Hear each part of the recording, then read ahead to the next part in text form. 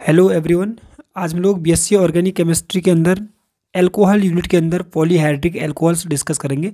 Monohydric alcohol already discuss कर दिया आप लोग प्ले लिस्ट में जाके उसकी वीडियो देख सकते हैं। तो देखो पॉलीहाइड्रिक एल्कोहल आपको पता ही नाम से पता चला कि पॉली का मतलब क्या होता है? मैनी ठीक है? हाइड्रिक का मतलब ओ OH. तो ऐसे एल्कोहल जिसमें एक से ज़्यादा ओ OH होते हैं, वो उनको क्या बोलते हैं? पॉलीहाइड्रिक एल्कोहल बोलते हैं, ठीक है? अगर दो ओ OH होंगे तो उसको क्या बोलेंगे? डाईहाइड्रिक क्योंकि दो ओ OH है। ऐसे अगर तीन ओ होंगे तो उसको क्या बोलेंगे? ट्राईहाइड्रिक ऐसे चार होंगे तो ऐसे ओवरऑल हम इनको क्या बोल सकते हैं? पॉलीहाइड्रिक एल्कोहल्स बोल सकते हैं। ऐसे एल्कोहल जिसमें एक से ज़्यादा ओएच होते हैं। अगर एक ओ होता है तो उसको क्या बोलते हैं हम लोग? मोनोहाइड्रिक एल्कोहल ठीक है? तो हमने जो डिस्कस करना है, वो करना है पहले डाईहाइड्रिक एल्कोहल उसके बाद ट्राईहाइड्रिक एल्कोहल तो डाईहाइड्रिक एल्कोहल में हमने क्या पढ़ना है कि इसकी मेथड ऑफ़ प्रिपरेशन क्या है और इनकी जो केमिकल प्रॉपर्टीज़ है, उनको हम लोग डिस्कस करेंगे। तो डाईहाइड्रिक एल्कोहल क्या होंगे? जिसमें दो ओएच होंगे। जैसे ये एथिलीन ग्लाइकोल इसका जनरल नेम ठीक है? ये क्या है? प्रोपाइलिन ग्लाइकोल इसका जनरल नेम है।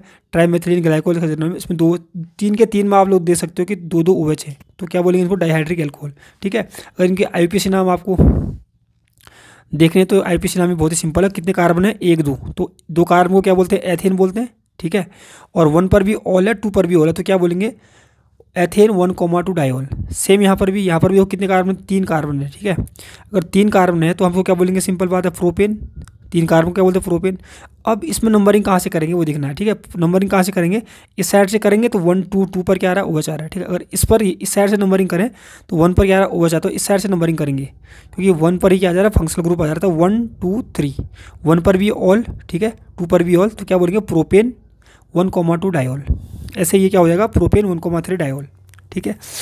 अब देखो मेथड ऑफ़ प्रिपरेशन तो मेथड ऑफ़ प्रिपरेशन में हम लोग को जो पहली मेथड डिस्कस करनी है, वो करनी है बाई हाइड्रोक्जिलेशन ऑफ़ एथीन अब हाइड्रोक्जिलेशन क्या होता है पता है? अगर हमको हाइड्रोक्जिलेशन का आपको इस नेम से पता चल रहा होगा कि हाइड्रोक्सिल ग्रुप क्या होता है? हाइड्रोक्सिल ग्रुप हाइड्रोक्सिल ग्रुप होता है ओ OH ग्रुप ठीक है? हाइड्रोक्सिलेशन क्या होता है फिर? अगर हम किसी भी मॉलिक्यूल में ओ OH ग्रुप को ऐड करना चाह रहे हैं या ओ OH ग्रुप को इंट्रोड्यूस करना चाह रहे हैं तो उसको क्या बोलते हैं? हाइड्रोक्सिलेशन प्रोसेस बोलते हैं, ठीक है? पर यहाँ को हमको किसकी करना है? हाइड्रोक्सिलेशन एथिन का। हम लोग एथिन लेंगे। एथिन की रिएक्शन किसके साथ करेंगे? हम लोग कोल्ड के इस इस रेजेंट का आप रोल याद रखो। कहीं पर भी आपको डबल बॉन्ड दिखता है और कोल्ड के एमोनोफोर दिखता है तो वहाँ पर क्या होता है पता है? जहाँ पर भी डबल बॉन्डेड कार्बन होगा डबल बॉन्डेड कार्बन मतलब ये वाला कार्बन भी डबल बॉन्ड के साथ जुड़ा है ये भी डबल बॉन्ड के साथ जुड़ा है।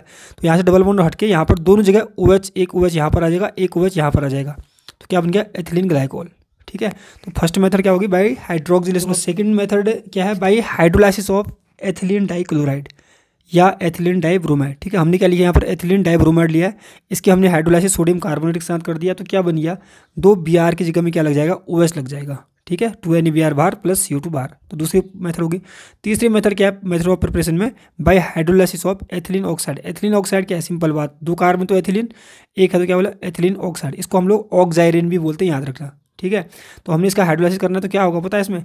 इसमें कोई सा भी बॉन्ड ये वाला कार्बन ऑक्सीजन का बॉन्ड चाहे ये वाला कार्बन ऑक्सीजन का बॉन्ड क्या होता है? ब्रेक होता है, ठीक है? ब्रेक होगा बॉन्ड जैसे हम लोग यहाँ पे ब्रेक कर दिया। और एस के अंदर से क्या होगा कि एस के में क्या होता है? एक एच होता है, एक क्या होता है? ओ एच होता है, ठीक है? बॉन्ड को ऐसे ब्रेक कर दो, ऐसे। तो क्या होगा? ओ के साथ एच चले जाएगा, ठीक है? और इसके साथ क्या हो जाएगा? C S two O H तो C S two O H C S two H कोई सा भी बॉन्ड आप ब्रेक कर सकते हो, चाहे यहाँ, चाहे ये वाला हो, चाहे ये वाला हो, ठीक है? अभी। अब ये तो होगी मेथड ऑफ़ प्रिपरेशन। हमको देखना है chemical properties of ethylene glycol. तो याद रखना, ये बीएससी केमिस्ट्री के अंदर या बीएससी प्रीवियस ईयर के आपके पास पेपर होंगे तो ये क्वेश्चन आपको बहुत बार रिपीटेड मिलेंगे। तो सबसे पहले रिएक्शन विथ सोडियम अगर हम एथिलीन ग्लाइकोल की रिएक्शन एक सोडियम के साथ कराएँगे, एक सोडियम के साथ तो क्या बनेगा? मोनोसोडियम ग्लाइकोलेट यहाँ पर से क्या होता है पता? है एक सोडियम को एक हाइड्रोजन रिप्लेस करता है। तो यहाँ से एक हाइड्रोजन बाहर निकला, ठीक है? और यहाँ पर क्या लग गया? एन लग गया। यहाँ पर हो गया ऐसे। ठीक? फिर दोबारा भी आपने कितना क्या, फिर भी सोडियम के साथ रिएक्शन कराई, पर कितना टेम्परेचर टेम्परेचर देखना फोर थर्टी थ्री कैलविन तो यहाँ पर भी होगा जो एच बचा है, वो भी रिप्लेस हो जाएगा सोडियम के द्वारा। तो यहाँ पर क्या होगा C S two O N A C S two O N A इसको क्या बोलेंगे डाई सोडियम ग्लाइकोलेट तो एक सोडियम के साथ रिएक्शन करेंगे तो मोनोसोडियम ग्लाइकोलेट बनेगा, दो सोडियम के साथ करेंगे तो डाई सोडियम ग्लाइकोलेट बनेगा. तो फ़र्स्ट रिएक्शन हो गई रिएक्शन विद सोडियम या मेटल ठीक है? दूसरी रिएक्शन है reaction with S C L तो यहाँ पर भी सिंपल है एथिलीन ग्लाइकोल लिया हमने एस के साथ रिएक्शन करा दी। तो क्या होगा पता है, पहले स्टेप में क्या होगा? ये जो ओ OH है ना ओ OH दोनों ओ OH रिप्लेस हो जाएँगे, इनकी जगह में सी एल सी एल लग जाएँगे तो क्या बनेगा? एथिलीन क्लोरोहाइड्रेन बन गया। उसके बाद हमने क्या करना है, फिर से एस सी एल की रिएक्शन करा देंगे, ठीक है? तो यहाँ पर एक मिनट यहाँ पर भी एक ओ एच वैसा ही रहेगा, ठीक है? जब दूसरे मॉलिक्यूल के साथ कराइए सी एल के तो यहाँ पर भी क्या होगा? ओ एच हट के यहाँ पर एस टू बाहर निकल जाएगा सी एल इसकी जगह में आ जाएगा तो क्या बन गया? एथिलीन डाइक्लोराइड बन गया। तो दूसरी रिएक्शन क्या होगी? Reaction with S C L तो थर्ड रिएक्शन है reaction with P C L three and P C L five अब फॉस्फोरस ट्राइक्लोराइड के साथ हम रिएक्शन करेंगे तो क्या बनता है? एथिलीन डाइक्लोराइड बनता है। यहाँ पर से जो दो ओ एच है, वो रिप्लेस हो जाएँगे, उनकी जगह में दो सी एल आ जाएँगे। ठीक है? बैलेंस कर लेना इसको आप।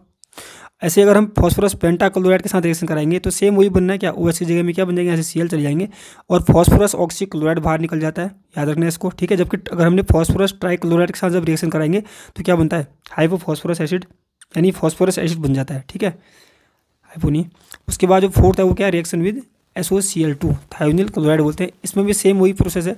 O H O H replace हो जाएँगे, वहाँ पर सी एल आ जाएगा और एक एस ओ टू गैस निकलती है, एक एस सी एल निकल जाता है, ठीक है?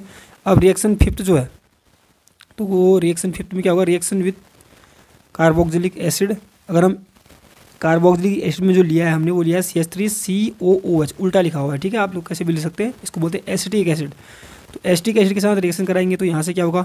जो कि एथिलीन ग्लाइकोल है, यहाँ से एस निकलेगा और एस्टिक एसिड से ओ एच निकलेगा, ठीक है?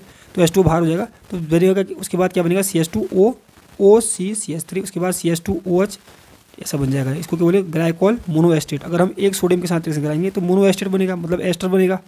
ठीक है? दूसरे सोडियम के साथ, दूसरे एस्टिक एसिड के साथ भी कराएँगे तो क्या बन जाएगा? डाई एस्टेट बन जाता है। ठीक है?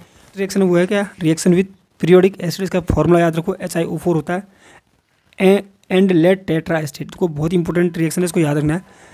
इसको शॉर्ट ट्रिक के थ्रू हम लोग सॉल्व करेंगे कि बनता कैसे कौन सा प्रोडक्ट बनता है इसको। ठीक है? तो क्या देखो एथिलीन ग्लाइकोल लिया एथिलीन ग्लाइकोल लिया। इसकी रिएक्शन हमने क्या करा दी? पीरियोडिक एसिड के साथ करा दी।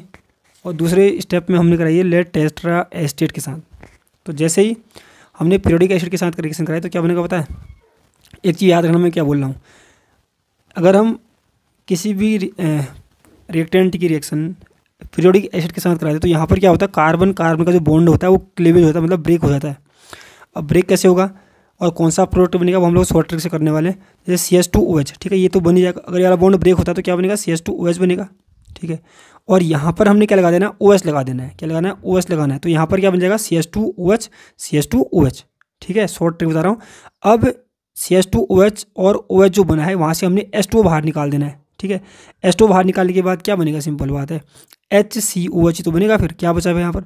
एस टू बाहर निकल जाएगा। तो क्या बनेगा? एस सी एच ओ बन जाएगा, ठीक है? जैसे मैं आपको दिखा देता हूँ इसको। जैसे सपोज़ करो हमारे पास ये है एथिलीन ग्लाइकोल इसको मैंने ब्रेक किया तो यहाँ पर क्या है? ओ आ गया, ठीक है? तो यहाँ से एक कार्बन पर दो ओ अनस्टेबल होते हैं तो एस टू बाहर निकाल दो, क्या बनेगा? C S two O C S two बनेगा। मतलब सी एस टू ओ बना और सी एस टू ओ को हम क्या ले सकते हैं?